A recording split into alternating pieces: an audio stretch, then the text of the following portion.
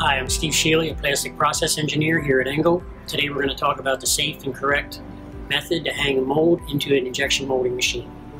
This video can be used as a guideline to ensure repeatability and ideal molding practices for properly trained staff.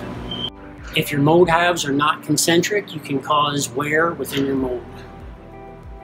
It is recommended to use a form of corrosion resistance between the mold and the platens to prevent rust this is not required if there is an insulator plate. The mold should hang level. This is typically done with a removable mounting bar with a pick point at the center of gravity. Locate, level, and secure stationary side of the mold to the platen.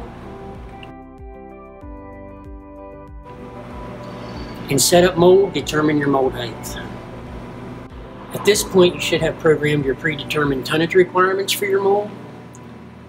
While the mold is still closed, build up clamp force and release three times. Build up clamp force once more. Double check your stationary half mounting bolts. And secure moving half to platen.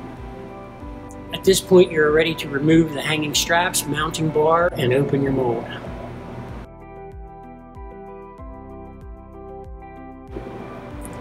With proper mold mounting, wear will be reduced on leader pins, interlocks, and internal components.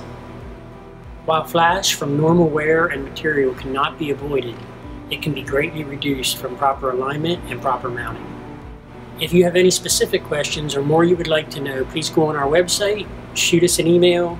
We'd love to hear from you.